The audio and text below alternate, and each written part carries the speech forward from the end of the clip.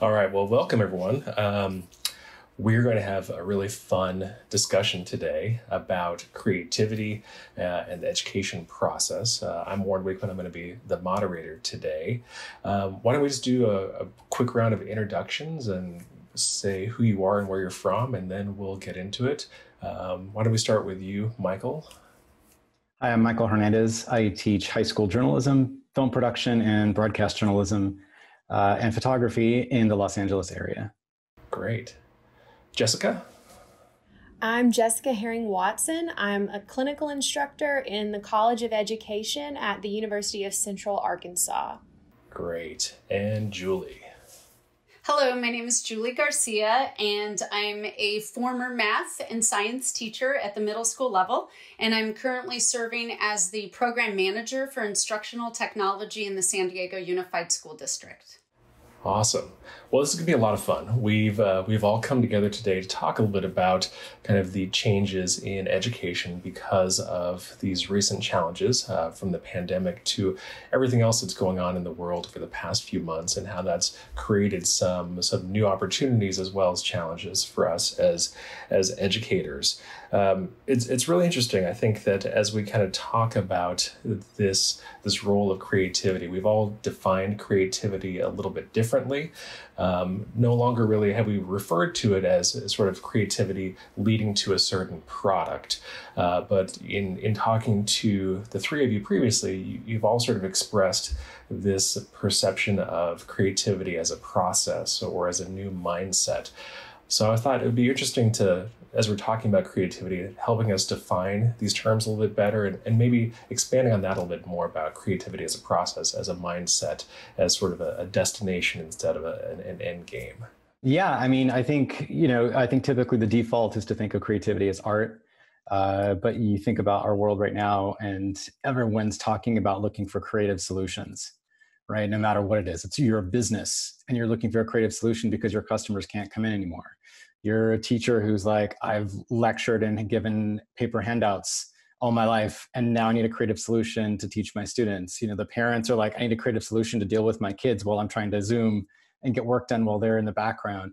So i think it's really like this ongoing mindset of like how do we manage change? How are we able to pivot? How are we able to be flexible?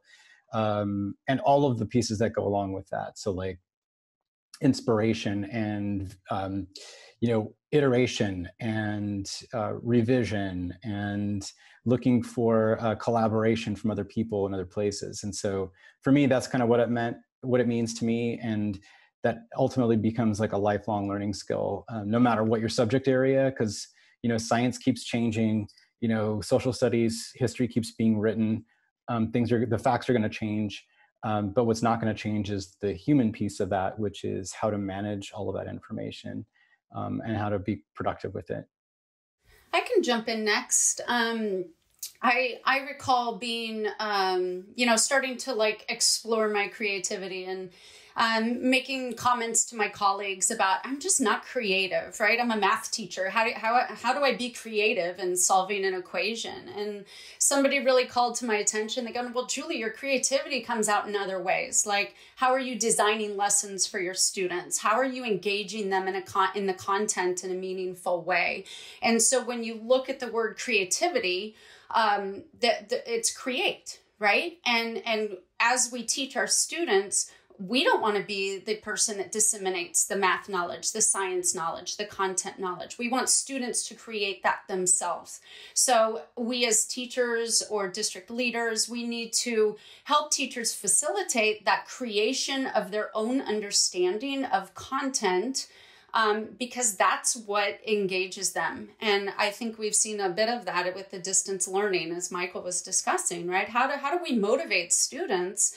We allow them to create and, and to make their own meaning.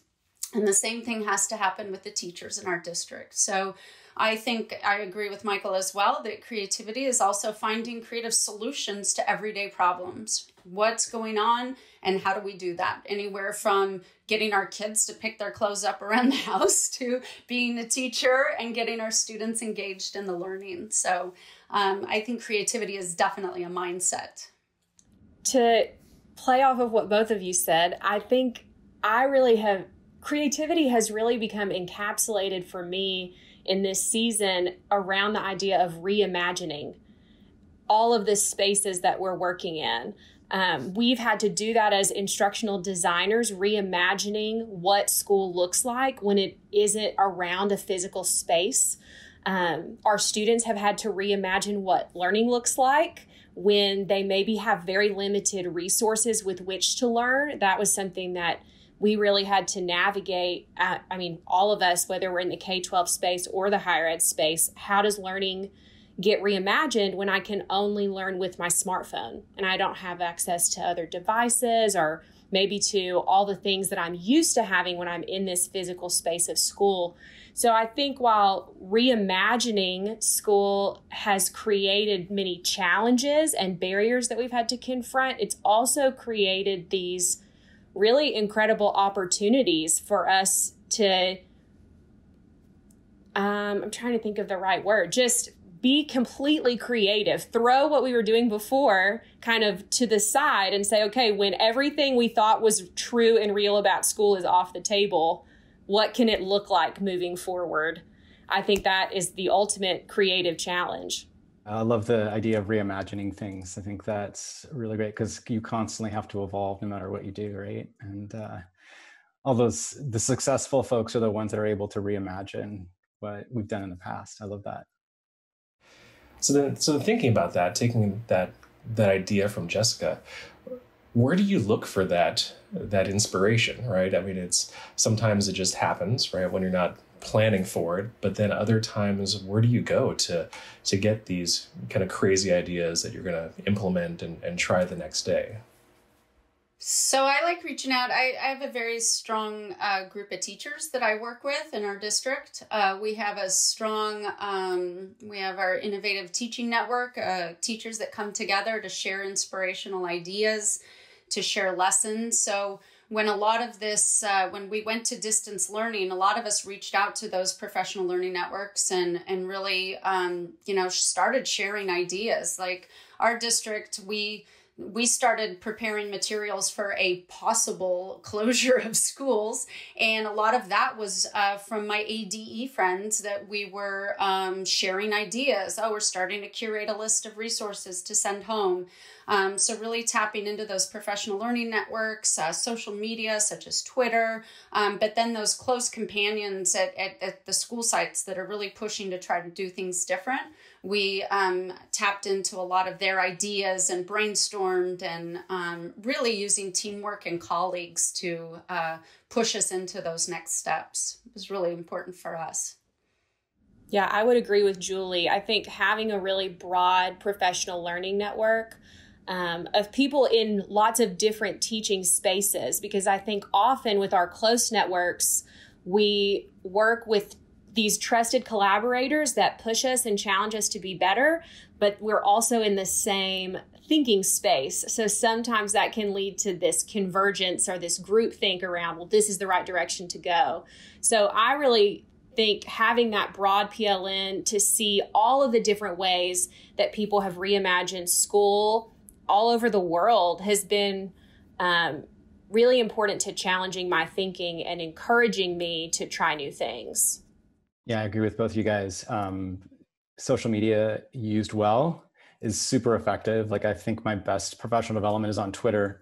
Um, and it's some colleagues that I have in other places in the world. Um, I definitely agree, Jessica. Like I'm actually the only person at my school that teaches what I do uh, in the entire district. So I don't have colleagues on site, so I need to reach out globally.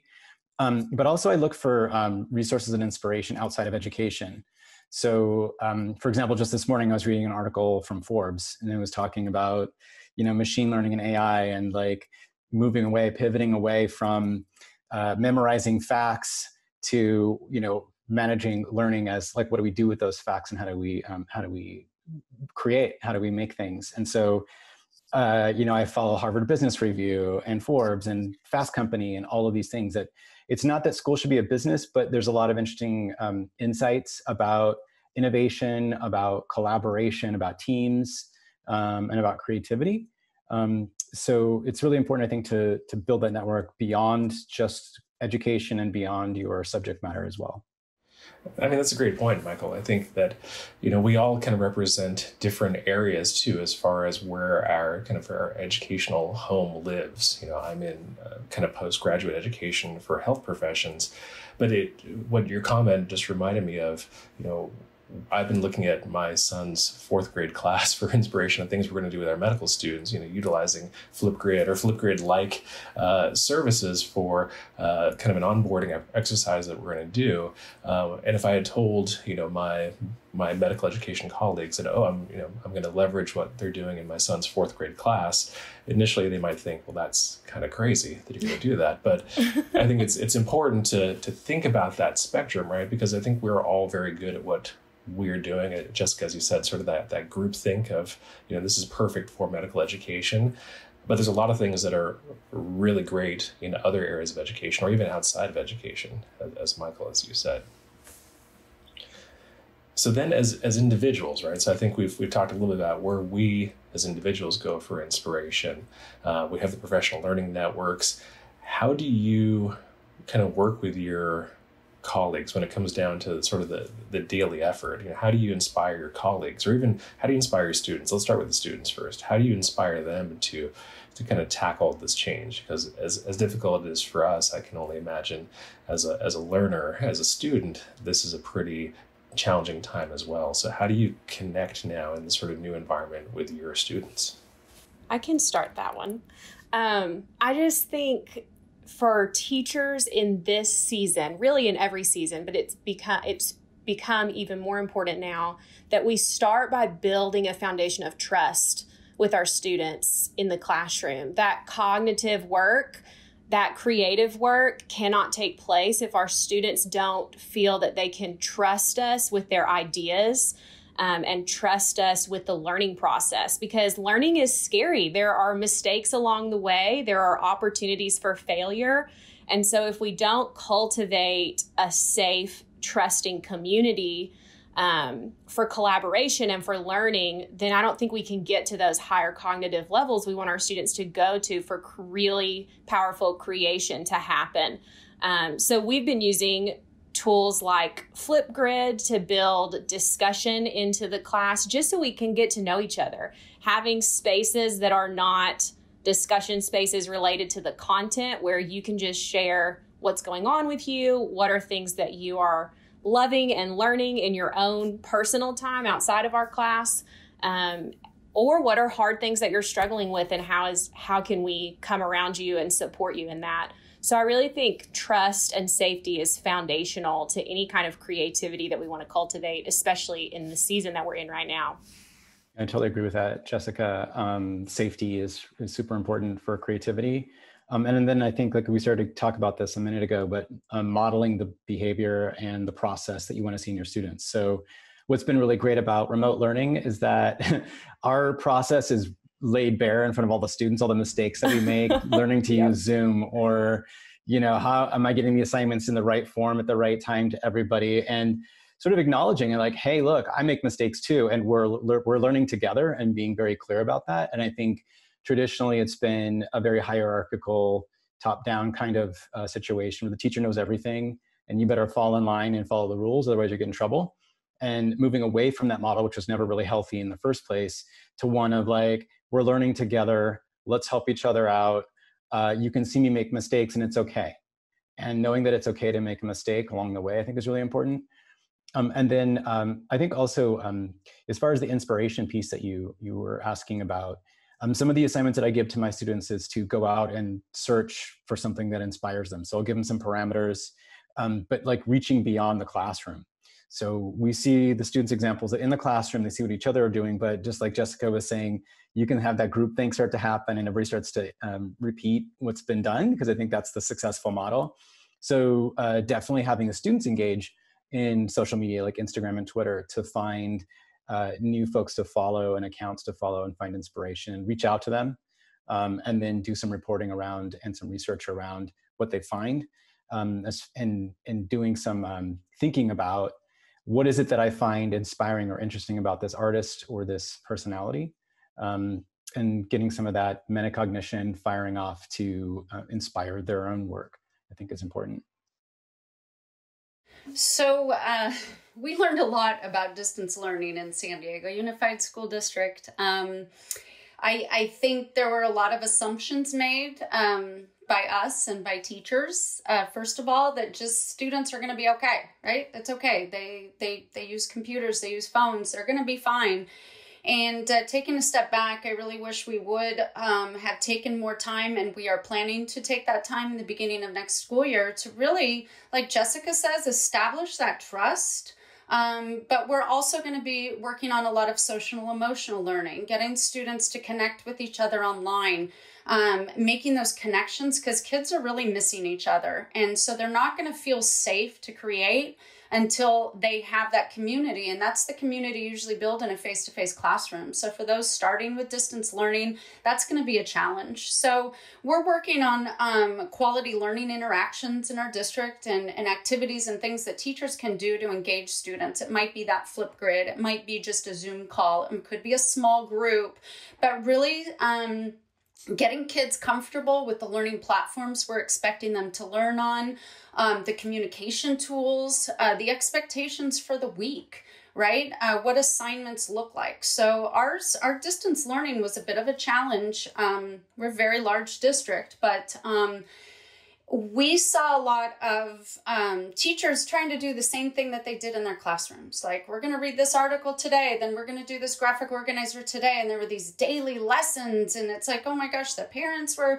you know, trying to keep up, the kids were trying to keep up. So, so we need to be creative in um, what those, what the content is we're expecting students to do. Like Michael said, what drives you? What's exciting to you, right? And that's what's going to engage our students in the learning, especially through distance learning.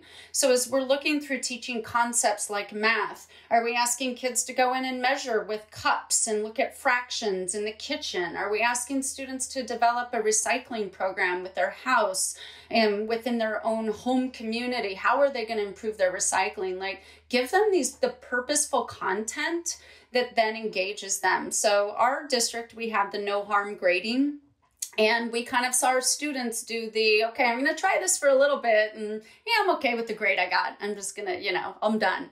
So i think um, for our district we want to be really creative with teachers in the planning what a week looks like. It's not necessarily a day by day lesson um, and what it is we're asking kids to do. Is it meaningful? Is it relevant? Does it connect them to the real world? Is it something they're interested in? And believe me, in math, that's sometimes a little bit of a stretch, but you can do it, right? Like you can you can find a way for them to make it meaningful for them and then give them that creative pathway to share their learning. Is it is it better, you know, and I, I feel like I'm talking a lot on this one, I apologize, but you know, we're looking at shifting the way that teachers are looking at assessment as well. How do I give a test online? How do how do I know the kids aren't cheating? How come they're not Googling? And so we we're trying to shift that.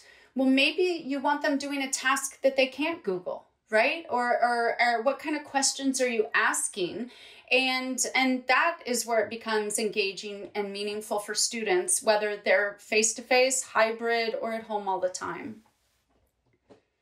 yeah that's so it's exactly what yeah. we're thinking julie it's like it's made everybody think about what does assessment mean what does learning mean what am i asking the kids to do that's so important in fact i was just reading this article about in math i'll share it with you later but um, okay. it's like stop calculating yes. uh, and start teaching computational thinking. So yes. we have tools that can do that for us. So let's go to higher level thinking about what we're doing. And like you're saying, you can cheat if you bubble in something, but if you're supposed to create something, you know, an authentic artifact, you can't really cheat. Right. And and and they can do that, right? It just yeah. takes time and to the willingness. And I believe I do believe it's a shift in mindset for teachers. And, you know, in our role right now in the district office, that shift in mindset is challenging enough and then to do that digitally with teachers it's a, it's a challenge all around but anyway.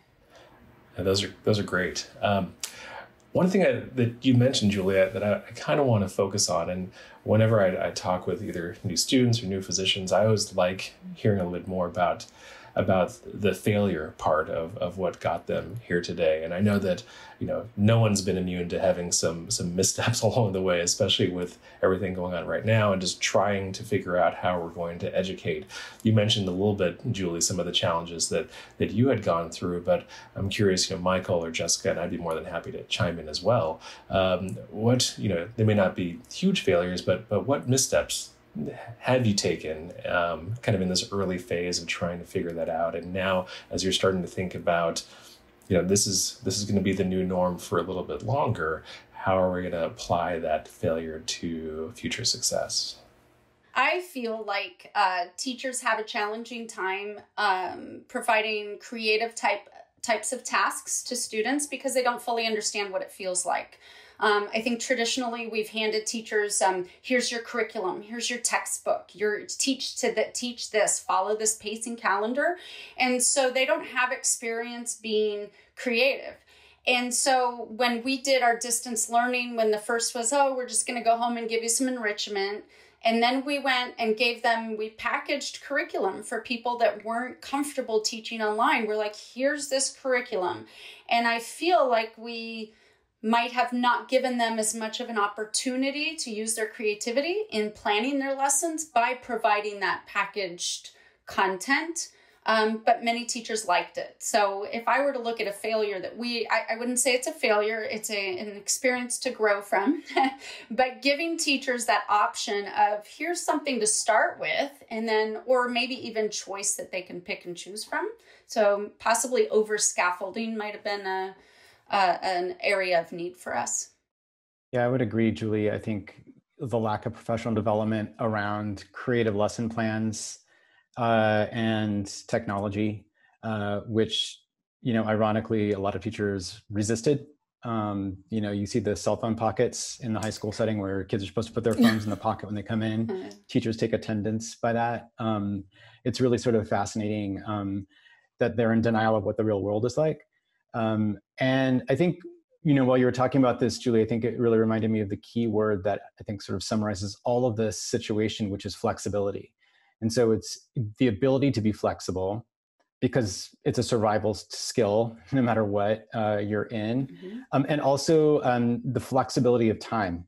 So, like you're saying, Julia, instead of having like these rigid, structures, whether you're the teacher creating lesson plans, which is I'm not a robot, I don't want to repeat somebody else's lesson, it doesn't fit my style, um, or it's on a physical, like biological level of like the bell rings, they tell you when you can eat, when you can go to the bathroom, there's no light, you know, you have to be finished in this amount of time, otherwise you're not smart.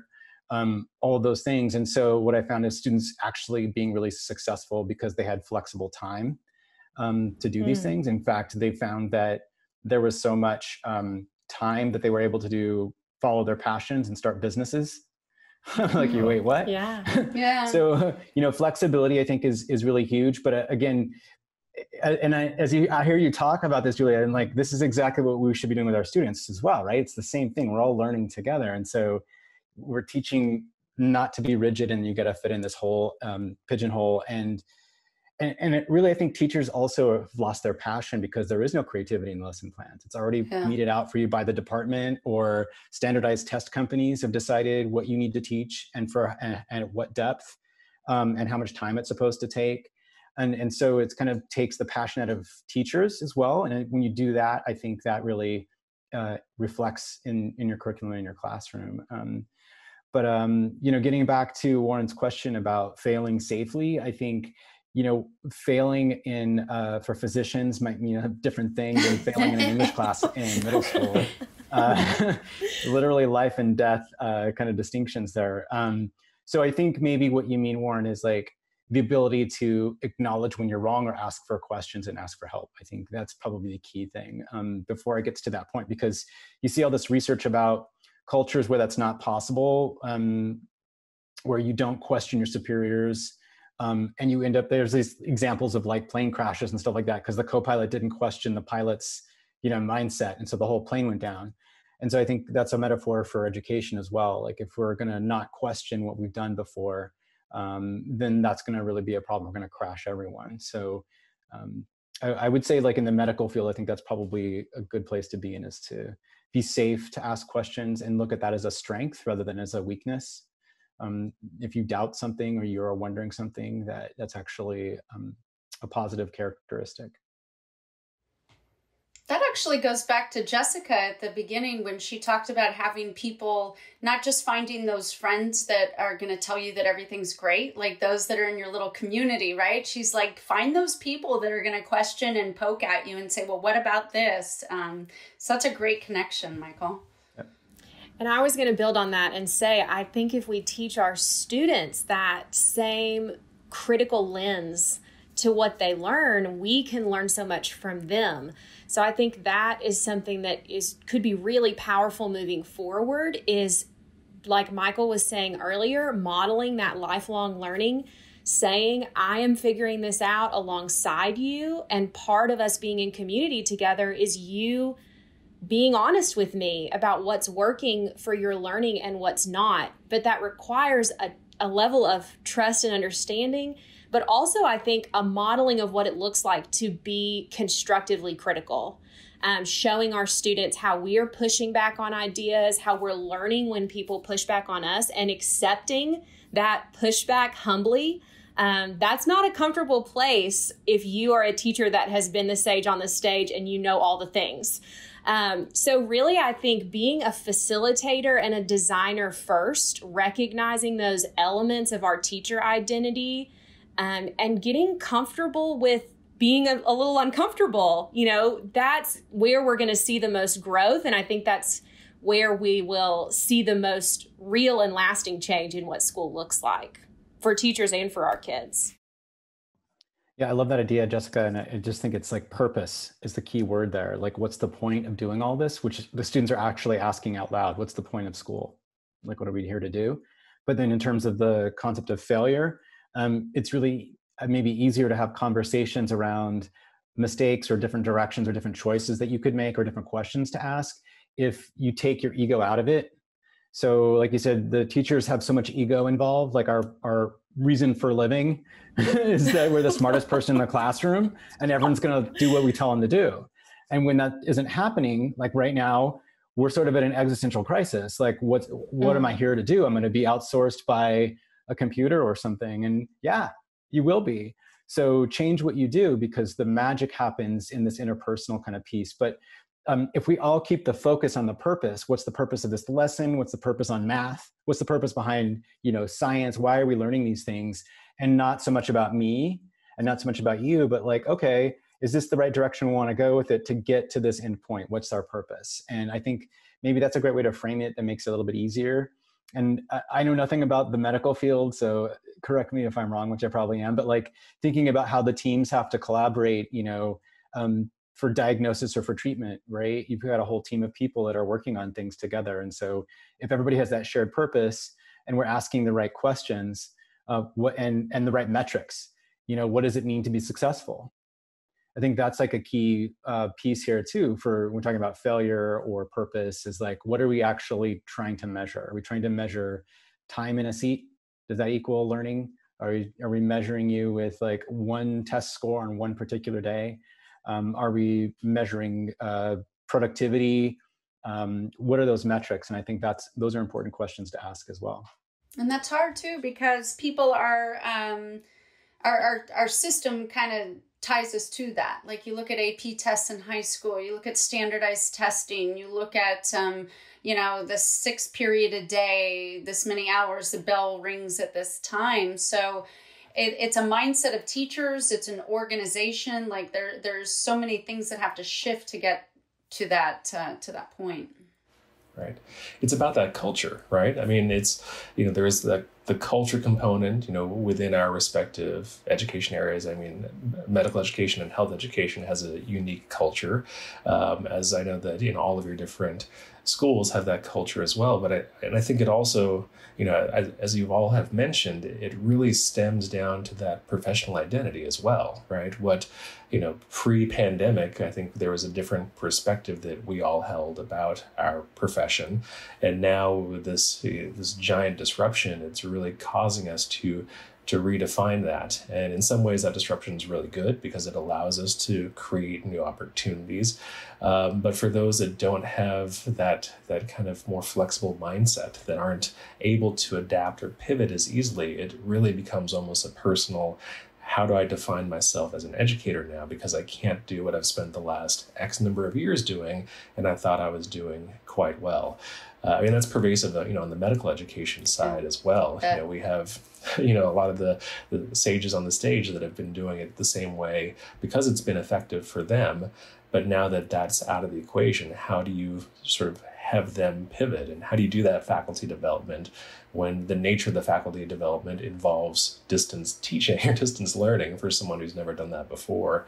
And we see it on our end all the way through the actual practice right with things like telemedicine. We have physicians that never had a desire to do telemedicine before and now that's becoming the mainstay of their practice. So you know it's it's from the education all the way through the practical output side that it's it's causing all of us to to pause and think wow you know what is what is the core part or what is that purpose that we're here for? And the, the methodology may change but what is my role in maintaining that purpose? Um, it's a, and it's really challenging it's it's it's yeah. hard and i think everyone across the board has a fair amount of frustration, right? There's just the, the getting through the day part um, with all the things outside of your professional world that are happening and changing, and then layering this on as, as someone who's previously been in a position of having to teach or instruct or, or guide or lead, I think is it's a tough time for everyone. And I think it's important that we also just acknowledge that it's it's not been an easy time. Uh, if it had been easy, we probably wouldn't have a panel to talk about it, right? If, we were, uh, if this was a piece of cake to go through. Well, and I don't know if you've experienced it on on your ends, but you know, we're we're dealing with trying to get teachers just to use more of those online tools, let alone make that shift in pedagogy or content or instruction. So, um, as much as we'd like to get those sages sage on the stages off the stage, they're still we're seeing they're doing trying to do the same thing um, digitally instead of taking that step back and shifting the way that they teach. And so I think that's a challenge for a lot of districts is um, can we shift that mindset mindset while teaching to the and I hate to say that we teach to tools, but unfortunately for many teachers we had to teach this is how you get online this is how you zoom right? Like so now we have to be creative in this is how you get online and this is how you can structure your learning a little different right? So um, there's almost two things that you have to work on with with teachers i think Julie, I've been thinking about that a lot in training pre service teachers um, because mm-hmm. if you think about how you were trained to be an educator in your undergraduate experience or your graduate experience, wherever you got your teacher training, you were trained for a face to face experience. You were trained to work in a physical space with students, arrange the desks, set up your classroom environment. Well, that's not a thing right now. So, how do we reimagine? I know that was a really scholarly way to describe that. How do we reimagine teacher preparation when we need to prepare future teachers to walk into interviews and walk into their first classrooms ready to be creators of online experience ready to be creators in a hybrid space where maybe they see their students part of the week and the rest of the week we're learning remotely um, so that's something that I've been really thinking a lot about in preparing for the fall is how can we shift our curriculum so that it's more conducive to building that flexibility that our students will need as they prepare for their first classrooms. Yeah, that's a challenge. And I think, Jessica, the, the pre service teachers in the first couple of years you teach, you're just concerned about classroom management and wrapping your head around curriculum. And you, there's not much, uh, not much more bandwidth than that. Um, it's pretty intense. Um, I, I, would say like, and it, it's part of this the system, but like mentor teachers and examples that are online maybe as well. Talk about success stories would be really great. I think that's examples are always helpful. Um, maybe even some kind of like like help them build their network out you know people that you know that can collaborate i think that's that's important. And i think we see that happening you know with your teacher co- colleague next door like you just go next door and say hey how are you doing this? Or do you have this kid? How are you managing that? And i think um, setting up spaces to do that, to lean on other people and to get their advice, I think is, is always helpful. So when thinking about that, kind of that expansion and, and either that professional development component for you know existing teachers or pre-service or um, have you had any individuals that have really been resistant to the change um, that you've either worked with or colleagues that you've worked with? And i'm just curious how do you how do you approach that? Because it's it's tough. I mean none of us you know really want to change is a hard thing in general. Um, and this is sometimes I think it's it's not really an option just to to not change. I think you know for us we were out of school for we were out of our clinical environments and we were out of the classroom for a long period of time as many of you were, and it wasn't just an option to get everyone back together and do it again. So so how do you approach that or how do you, you, you tackle that challenge of, of a colleague or, or peer that that's not quite ready to do it? I'm not in an admin role, so I don't have to manage the really tricky situations. uh, like I said, there's definitely people that I work with that were resistant to any kind of technology um, for any number of reasons. Um, but a, a, success story actually is a, a, friend of mine who's AP chemistry teacher. Um, and we're at a pretty high performing school. So there's a lot of pressure to do well and have a lot of pass, high pass rates and things like that. Um, and I actually interviewed her for my podcast about this, but um, she was talking, and she's like, I'm the teacher who had two file cabinets full of worksheets on paper, and I would just roll in and pass out these worksheets, and it was really easy. I didn't have to think about it. Well, then she's stuck like having to stay up till like midnight every night, like redoing everything. Um, and so, but what was really great about her is that she had a very positive outlook. I think she kept her eyes, like we said, on the purpose. What's the point of all of this? And realizing that I don't have a choice. Um, and also beyond that, like and I should have done this before. And this is ultimately the best for me and my students anyway. So it's kind of like so many things in life, you don't do them until you're kind of forced to do them, whether it's, you know, wash the car, go to the grocery store or whatever, you know, the same thing applies to, to this too. And I'm not like, just never happened to me. I'm just saying it. It's a possibility. Um, but, um, you know, like, uh, and, and, but she was a really good sport about it and her lessons are really great and now she has like this series on youtube of like kitchen chemistry. And so she has like a series of videos that she's doing. So uh, she took small steps um, she started doing explainer videos with her students as projects you know after the ap tests were done a couple of years ago. So she started to get her feet wet but i think being open-minded about it was really helpful. And like I said, um, you know, we can look to her as like um, a model of somebody who's maybe has my mindset of like, there's no way I can do this. I've had this, my file cabinets are full. I don't have to think. I can just drop in the worksheet. And somebody who's been very successful at it. Um, I think that was really great. Yeah, I have a friend that's a technology coach at a nearby district, and I asked her how things were going with the teachers. And this is a school that had had a one to one initiative for four or five years. They had access to the devices that they needed, had had access to PD. And she said there are a lot of people that are feeling a lot of regret that they did not go to those. PD sessions. So I think there's this, I mean, the research shows us our internal barriers to change are much stronger than external barriers. Um, like if those things are met, we can still hold ourselves back.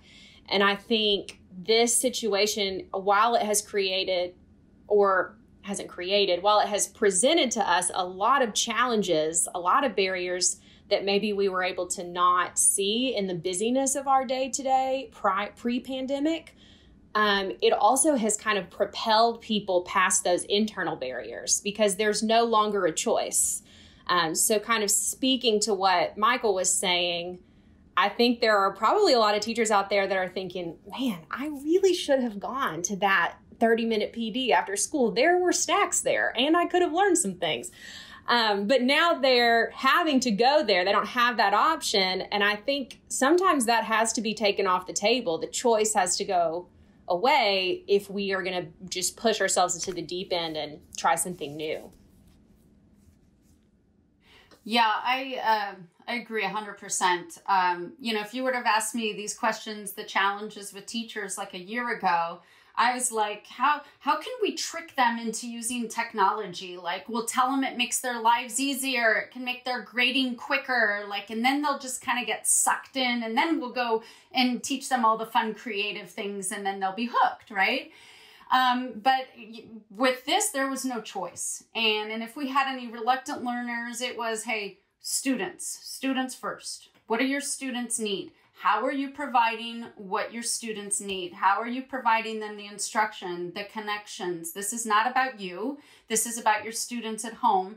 Um, and we have all socioeconomic neighborhoods in San Diego. So we're trying to connect with, you know, everybody. And so really putting that first. Um, I am a little, I'm not nervous, but I am, I'm keeping a creative mind for um, the start of next school year in that um, I'm curious how many teachers just kind of slid by to June, right? And and now like how how are we re- are we going to get them back again? I need help again or are they there? So really trying to get some creative solutions for supporting teachers with differentiated supports to those that are ready to just go and need that extra push for those more creative tools and those that might just still need a little bit of a review and uh, start from ground zero. But um, always keeping those students in mind right no there there isn't a teacher that's going to say i don't want what's best for my students so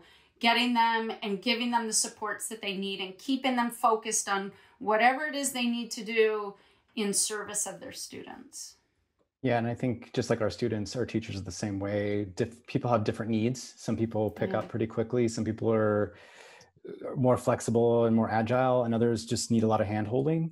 And so I think a one size fits all is not going to work for our students or for our, our, colleagues. So keeping that in mind, I think is really important too. And I'm not sure how you identify those other than just like you happen to know them personally, but in a large district, Julie, I don't know how you guys manage that, but maybe it's more of a site level kind of uh, decision. Yeah, but we'll let you know when we figure it out. but I do, I agree. I think it's more of a um, differentiated coaching, just like we have differentiated instruction for our students um, if we really want to help everyone make their way along that change curve. Well, and it's interesting too because we're looking. I mean, we we have five thousand teachers in our district. So how do you train five thousand 5,000 teachers in a differentiated approach. So we're having to be creative and we're looking at different professional development models. Like, is it is it an online learning module? Is it some face to face and some independent work time? Or is it little video snippets that we send out at the beginning of the week? So we're trying to explore all of those options as well. Um, because it's a challenge. It's a talent. It's a challenge to differentiate for a class of 36 students, let alone a, a district full of teachers. So um, you have to be uh, have to, have to keep your mind open and look at all the possibilities and how really to use technology to help leverage that right so, so we talked a lot about colleagues and and our peers, but we we all sort of touched on students a, a little bit here. So, I'm curious because not all of our students, and we, we mentioned this before, are are equally as adept to handling these challenges. So um, the students also don't really have the same options to say, no, I'll, I'll, I'll catch you guys in the fall and we'll, we'll, we'll try this again at that point. So, you know, as, as an educator, how do you identify those students, especially now when it's, it's, it's through, you know, some sort of distance learning, how do you identify those students that are, are struggling or or falling a little bit behind um, and how do you approach that especially in this time? I think that was one of the biggest challenges that we were presented with in the spring um, because everything except happened so quickly. Um, so we were in school on a wednesday and by that friday we were not going to see each other again.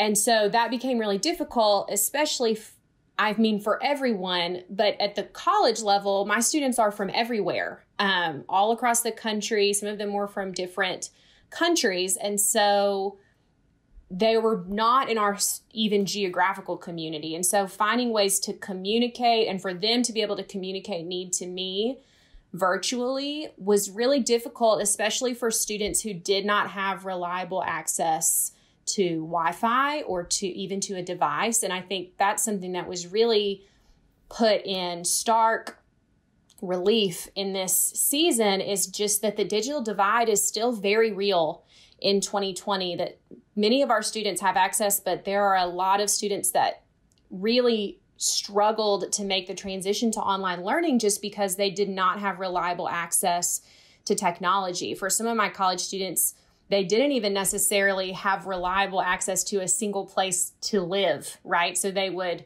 go from place to place so that they could have Wi Fi a couple days a week to do their homework and get it turned in or to email their teacher.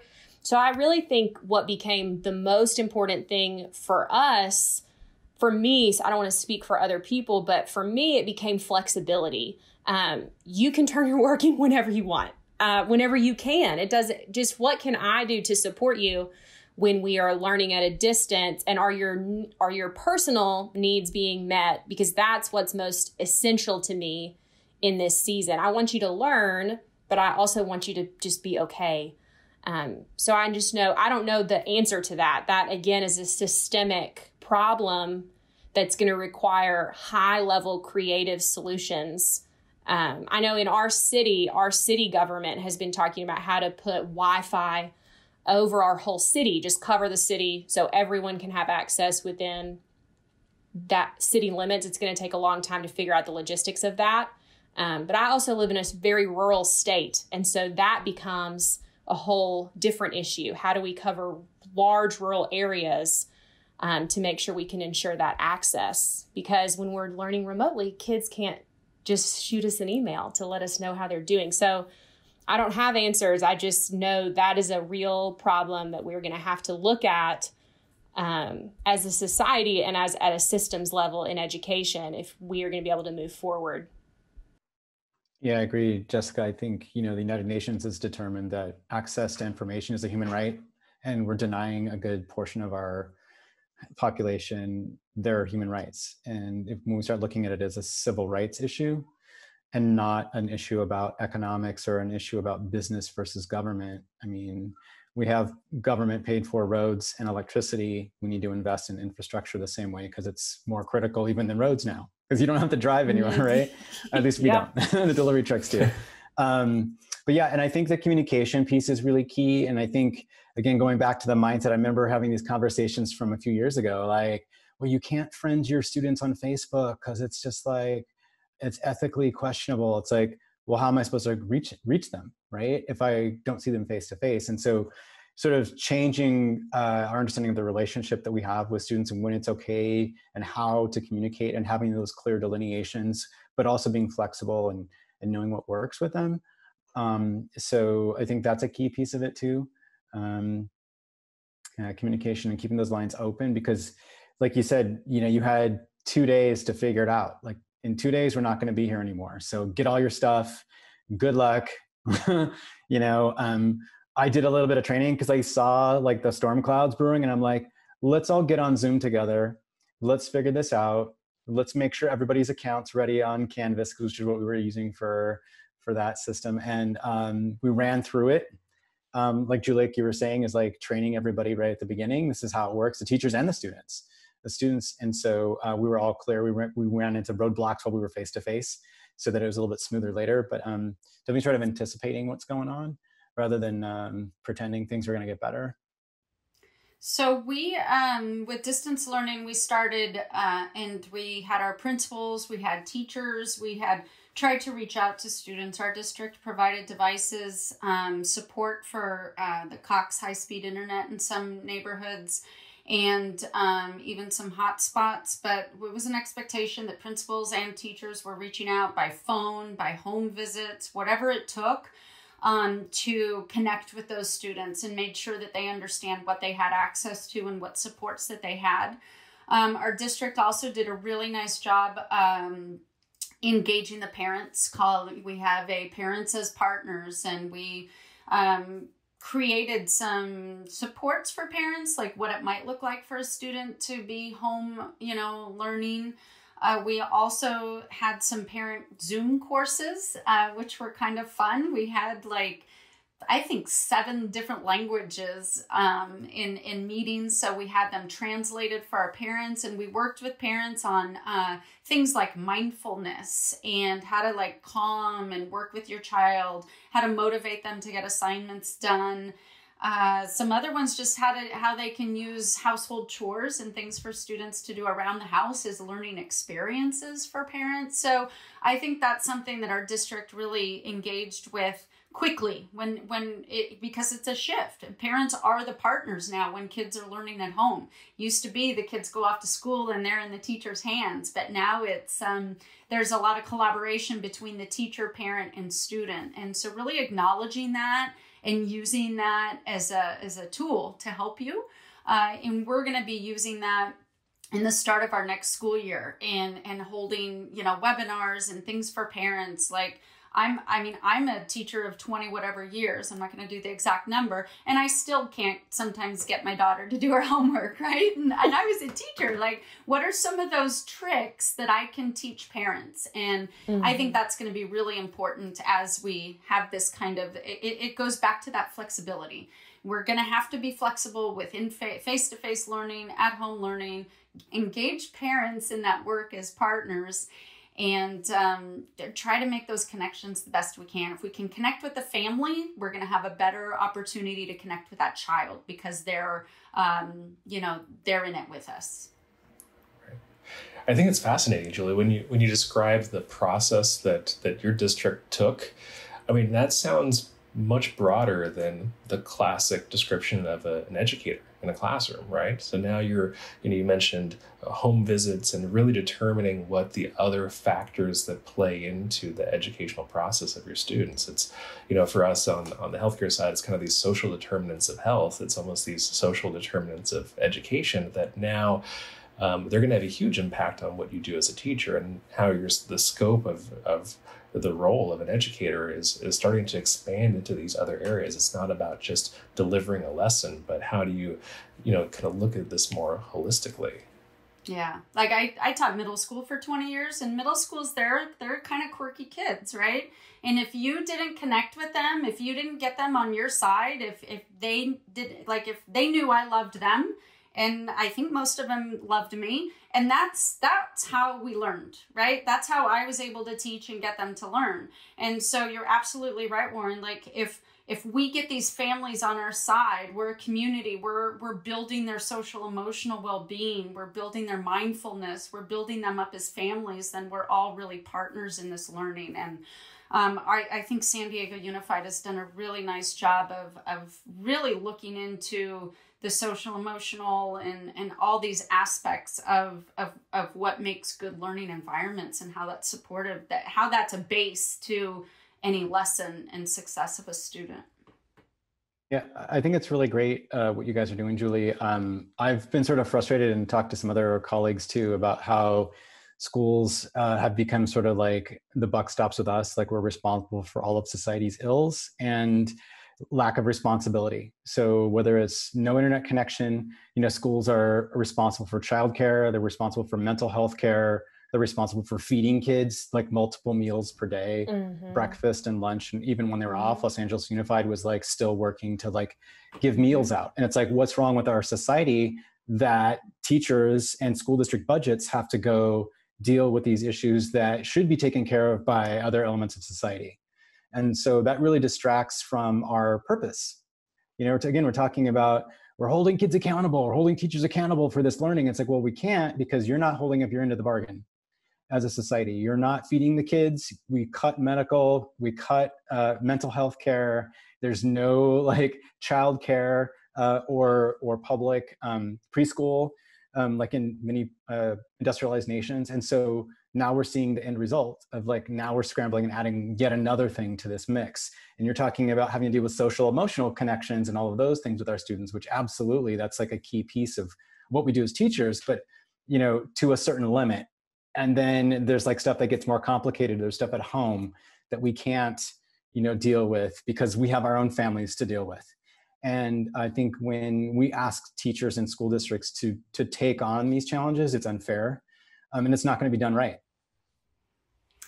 and part of it goes back to you know we've been doing a lot of even just and now i'm thinking of all of this like uh, culturally responsive teaching with Zaretta Hammond and we've been doing a lot of work in our district with that and and that kind of takes me full circle to like we're we're understanding the child and giving these these experiences that um, that that students are engaged in, and then and and it's good for their their mental well being. But then that goes back to like changing that content area as well for teachers, like shifting that whole content of the child first. It's not the content first. And and what do these children need? And what kind of content do they need? What kind of supports can we provide them to that level? But um it it, it it's kids first right? Whatever it takes. I mean, we see that on the on the, the medical education or on the the higher uh, kind of health education side as well. I mean, we um, you know our students are are older and you know many of them are independent but there are you know a number of them that have their own families or they take care of others or some of them even work to provide for families that they live with or or um, or or kind of dependent on them as well. And it's interesting because it's it's you know there are times especially i think for us that we realize that with everything going on um, you know maybe there does need to be a pause on the education side just to sort of get all get everything else stabilized first. And so we've we've had open discussions with our students broadly that you know for for many students, you know, this is a time where, you know, you can still go through and, and, and go through the medical education kind of trajectory. But for some of you, it might make more sense to take, you know, a few months off. Um, or if you're caring for someone who's high risk of, of illness or you yourself are at high risk of, you know, picking up um, any sort of bad infection, maybe this is not the time for you to be in the hospital and, and sort of recognizing that um, even though there is a prescribed pathway um, for some of our older our students, you know, following that trajectory is not always the right thing. So, it, Julie, you're absolutely right. It is that that student first component, but it definitely does feel different. I think from again even six months ago of you know my role as a curricular dean. Um, there's these other larger non-curricular components that go into all of these decisions that I think are are good that we're addressing it mainly because maybe it isn't being addressed elsewhere but it also highlights that it isn't being addressed elsewhere. And you know, you know, we we're not going to just not do it, but also, you know, I'm not maybe the best person trained to do so, but we do what we can because we have this desire to to be so student and learner centric. And it's interesting too, because I'm thinking that you know we're talking about access to internet and devices and stuff like that um, but there's all these other issues and so we know that you know, people of color and those of the working poor are going to be even further behind now because they're the ones that are not showing up to the Zoom meetings because their parents have to go work. They're essential workers if they're working, right? Um, and so they're left with an older sibling to kind of manage that teaching element or to care for them and to make sure they're getting their work done, and it's not getting done. And so, again, what's the societal role? In making sure that these folks don't get even further behind than they already are. And it, again, it becomes a matter of social justice uh, and and more than just you know what, what we're capable of doing here in this conversation or in our roles in school districts. And so, whoever's watching this, I would say definitely please like make this legislation. Like this has got to be addressed on a, a much deeper systemic level than just one of those systems, just education, because as we're seeing, everything's interrelated and i'm sure in the medical field you're seeing that too you know it's not just oh well if i tell the patient they're going to follow this you know process or you know make sure you take your medications every whatever that's not going to happen or change your lifestyle right? So you're healthier. I mean sometimes that's not feasible for some people and so it's not that you're a bad doctor you know um, but there's something else that's deeper that's embedded in i think that needs to be addressed before we can address any of these other technical issues Another question that I have, I mean, this is, you know, as we kind of talk through this this process too, right? It's um, there are some, I think, frustrations and challenges that we internally, um, as educators, can't always solve, right? Um, and so, how do you um, how do you deal with some of these challenges, right? I mean, how how do you decompress or kind of manage the uh, sort of this additional burden that that teaching now creates. I mean, it's you know some some days we're we're sitting like this all day behind a screen and in front of a camera, um, and that can you know be emotionally challenging as well. Um, so how do you how do you for your own mental health? How do you take care of yourself in a time like this? Well, I'm very, I, I don't relax at all. Um, so, Julius, can you tell? I was yeah, to say, you're talking to people that don't take breaks, I feel like. I know. this is a tough question, Warren, because I think March, I don't know what it was the day that all the kids went home. I think I was putting in 15 hour days, seven days a week. Like, I didn't stop. So, you know, it's a really good question. Um, but I did take my first day off yesterday, which I was very proud of. Uh, but I've been making sure now that I've uh, I'm exercising. So I'm doing a really good job of trying to fit in exercise. And what I love about that is that like there's two I'll go for runs and I'll either go for a run and listen to music and let it all go, or I'll leave my music at home. And that's where my creative juices really start flowing. So I can go on a 20 like sometimes people in my department will be like, oh my gosh, I think Julie just came back from a run because there's like these emails that get thrown out everywhere with these ideas that I came up with. And then I'm also a little high strung, so I purchased the uh, Calm app. and mm-hmm. I've been trying to do some daily mindfulness, which um, I don't do. Like, that's not me. Um, but if we want our kids to do that, we want our teachers to do that. So I need to embrace and try it. And I will admit I'm I'm slow going, but um, mindfulness and exercise are uh, attempting to keep me somewhat sane. Mine's actually the same. Um, I actually started using the Calm app in January. I just had had a really busy fall. And so going into the spring, I was like, I need to create some time to pause.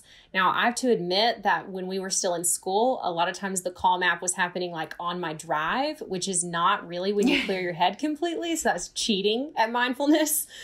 But that has just building the practice of taking 10 minutes a day to try to make myself not think about anything has been really powerful for me and I think has helped me to be more clear headed when I am working. Um, so just teaching myself to have that discipline to pause has been really important. And then exercise, just trying to do something active every day. Um, so anyway, same, Julie. Those those have been really important practices for me to just set that time aside and um, the other thing I've been trying to do is I check email morning, lunch, and evening instead of just keeping that tab open all day and setting those prescribed times when I go to email has helped me to be more intentional about how I'm spending my time throughout the day. Because um, I found if I just kept that tab open all the time, I was constantly distracted by that number because I'm not into unread emails. um, so that that has been a practice that I've adopted in the last couple of months that's been really helpful for me. Yeah, I would totally uh, agree with what you guys were saying. I think um, one of the things that's been really great about this, another one of the many silver linings I think from remote learning is the pacing has slowed down a lot. Um, at least for me, I know some folks like Julie are responsible for district level kinds of things and like hauling butt to like create curriculum for everybody. From a classroom uh, perspective, I can say that um, I, was okay. Um, I have like window light now because my classroom doesn't have windows. So I have daylight, which is definitely physiologically important. Um, I get up in the morning and I go for runs, um, which I used to run a little bit, but now I run almost every day. And then I come back and I have time for breakfast. You know, I feed my body and I didn't have that before. And so coffee and breakfast and kind of let your mind sort of ease into the day. I do a little bit of inspirational reading off of Twitter, finding articles and stuff. So that sort of catapults my creative thinking. Like Julie, for you, you said it's running without the music. And so for me, it's like I'm inspired by like articles that I'm reading. And so that gets me to really think about the day. Um, and then I think, you know, getting back to this creativity uh, piece for our talk is I think what's great about creativity is that it allows you to have a, an element of control over your life. And so when things are out of control, like they are now and constantly changing, like day to day, um, you need some kind of stability. And so for me, it's always been making stuff. So I took a graphic novel class and started making a graphic novel. Um, I learned to bake sourdough bread. I know that's Same. a cliche, right? I did that. um, I did that. Like, I love cooking, but I never made the time for it because I was always too busy doing lesson plans and you know going to conferences and things like that and um, now i'm like okay I'm going to get back into what I love to do. And doing things physically with your hands, I think, is important, and making things um, helps you have an element of control and just rekindle passions that you've you've had all along or maybe forgot about. And so I think that's important too. Right. Now this is great. I mean, I, I asked this question because it's it's very easy especially right in the height of this, to just be sort of engulfed by uh, all the change in the process and sort of that that steady state level of anxiety just slowly creeps up day to day. And you know, I I know of colleagues that you know have have been burnt out, especially over these past few months, and you know some people have you know i hear some people that talk about you know they haven't done much for a few months. And i know other people um, that are very busy educators that would love you know three hours off to sort of relax and unwind. And I, and I think that self-care component especially now if this is going to be if any semblance of this is going to be the new norm, I think it's important to create that intentionality about self care, um, whether it's exercise or mindfulness, or even you know inspiring your own creativity through other exploits. Um, yeah, and just to kind of build on what we were just saying, I think another one of the many silver linings is we have time now. You know, instead of commuting 45 minutes each way from work, that's time you can use to sleep.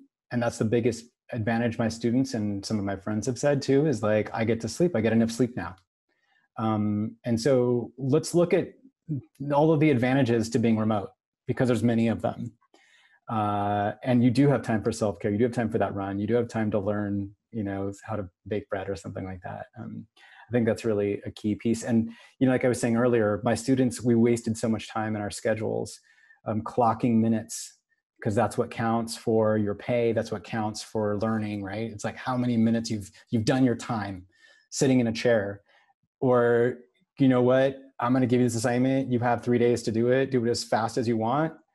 and then the rest of the time is yours. And so then you can follow those passions. You can do those hobbies. Um, the kids aren't doing competitive sports anymore, which has been fantastic because now they're not. I know Julie, your your daughter competes competitively, so maybe that's a problem. But um, she's been out of the gym. okay, yeah, but I mean, like, it's that's how many hours a day we're using for that in, in schools in the United States, and that we could do other things with, right? Um, so again, it's a matter of priorities and how you measure success and what the purpose is of, of what you're doing. And are there other ways to to like Jessica was saying, reimagine the school day and how we spend our time?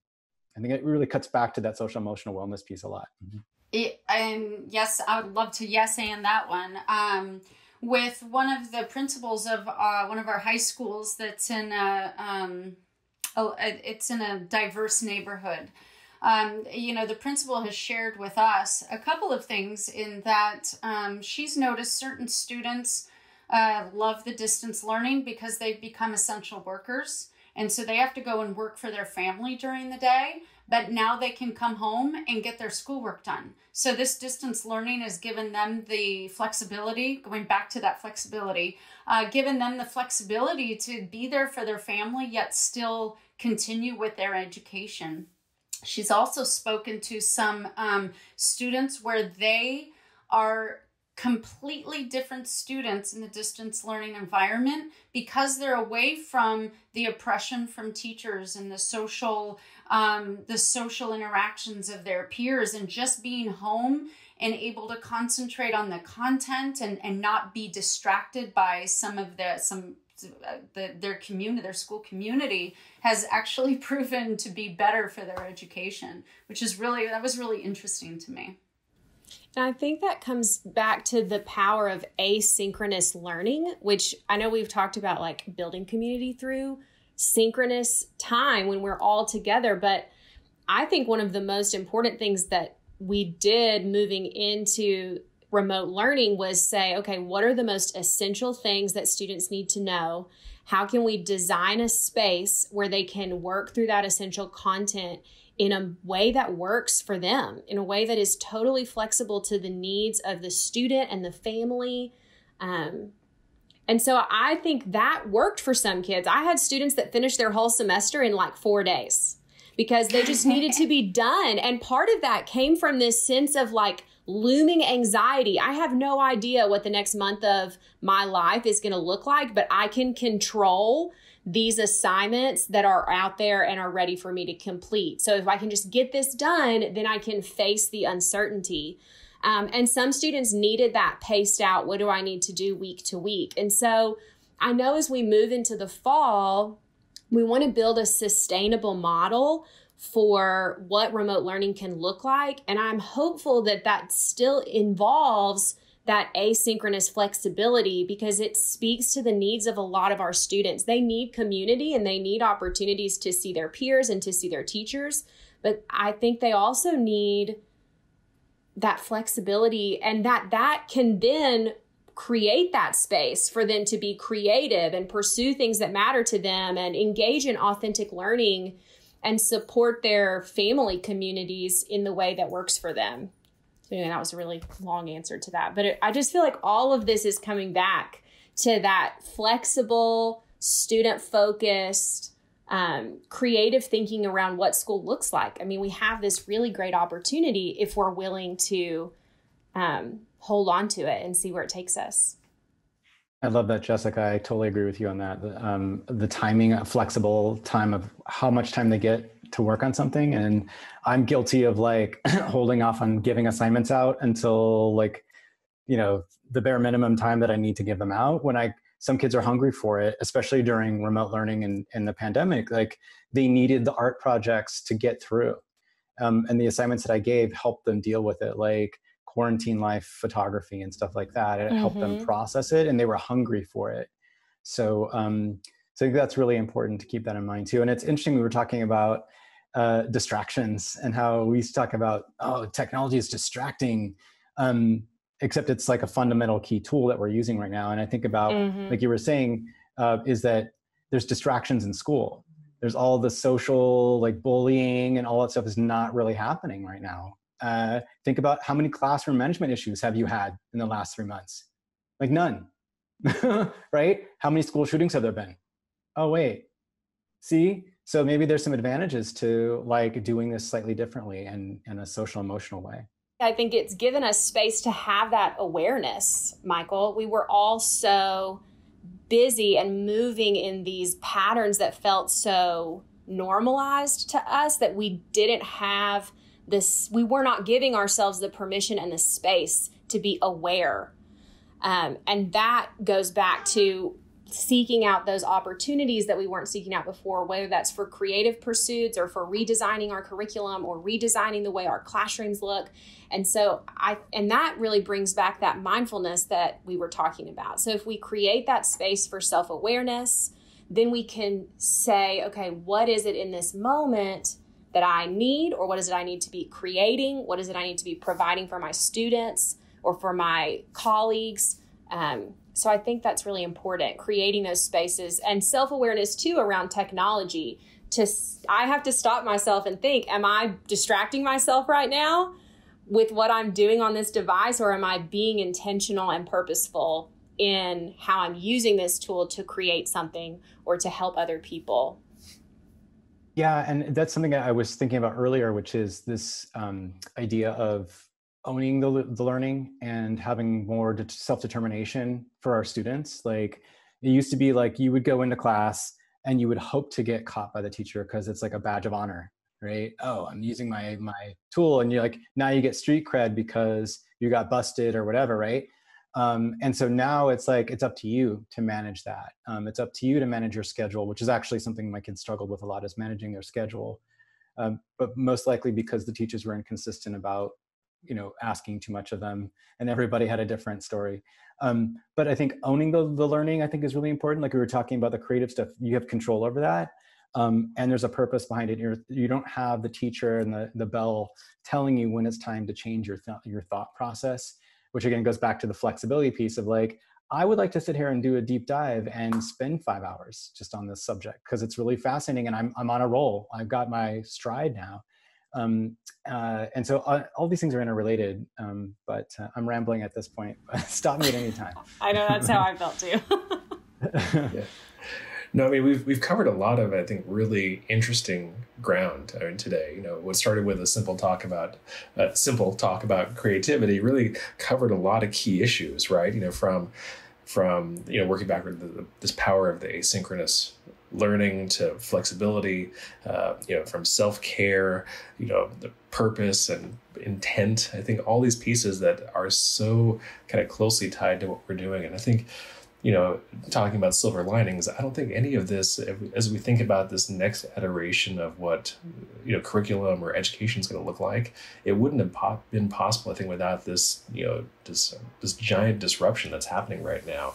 Could we have really come into, you know, our, our leadership one day and say, hey, let's, let's clear the plate for the next two weeks and just see what happens, right? That would have probably never happened if it wasn't for, you know, this giant disruption of the pandemic. And, you know, there are some downsides, but I think that this is a really big kind of an inflective moment for us to think about what is what is the next few years look like or what does kind of future education look like.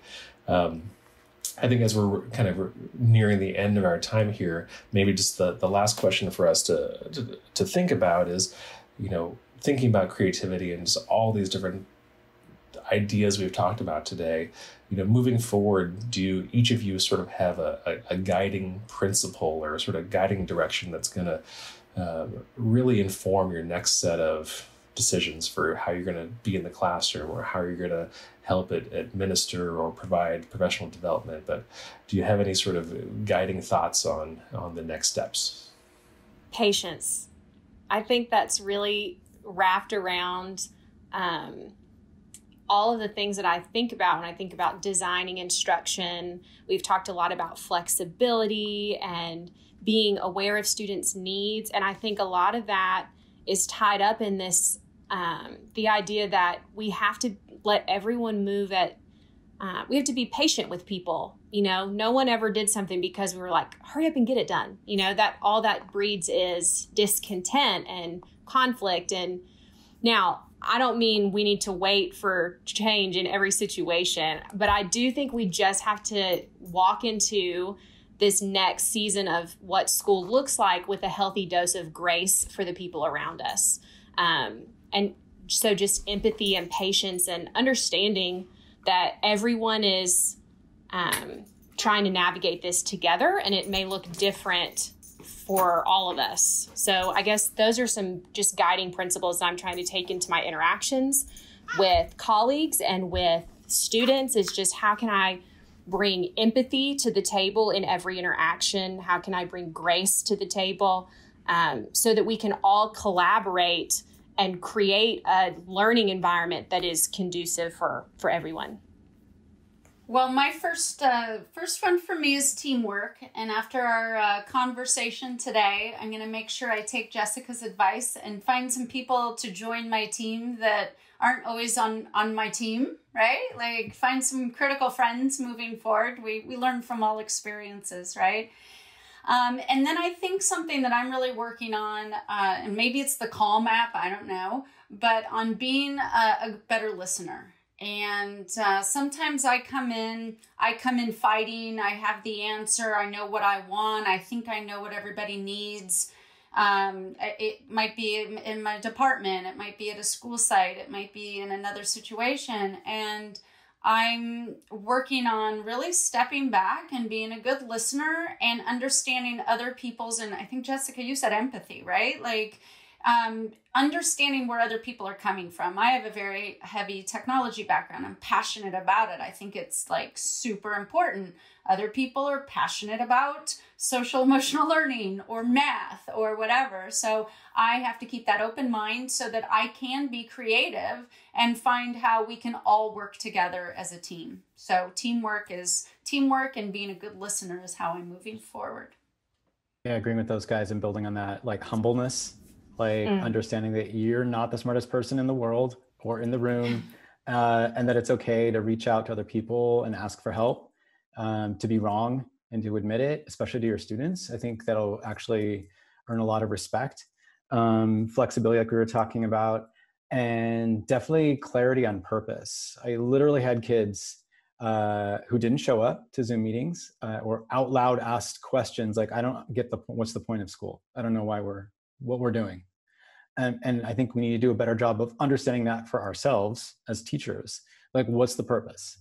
Really um, and communicating that clearly to the kids and designing lessons and projects projects not tests that are going to build those skills and assess those act those mindsets um, and those processes. Um, but there has to be a purpose. Just like you wouldn't want to go into a professional development meeting and not know what you're doing and realize that this is all useless. It's no different than what the kids are, are doing. Like should i show up to that zoom meeting? Should i really do this assignment because they're asking the same questions and and ultimately i think the, the key word for everybody is to have fun like if you're not enjoying yourself like I don't know, I, I, should be doing something else if I'm not having fun. And so I try to design those lessons that I will enjoy as well.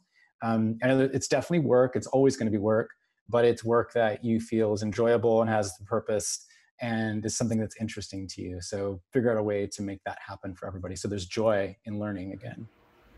Awesome. Well, Julie and Jessica and Michael, this has been a whole lot of fun.